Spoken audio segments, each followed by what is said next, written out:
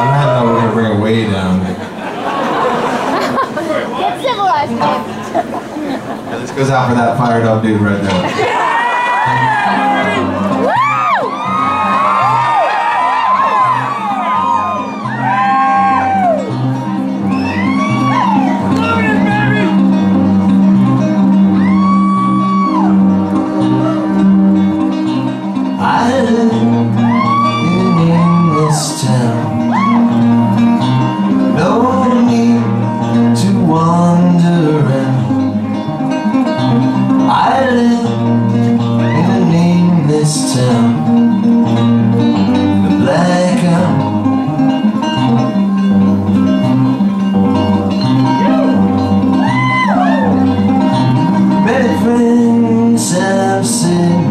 Put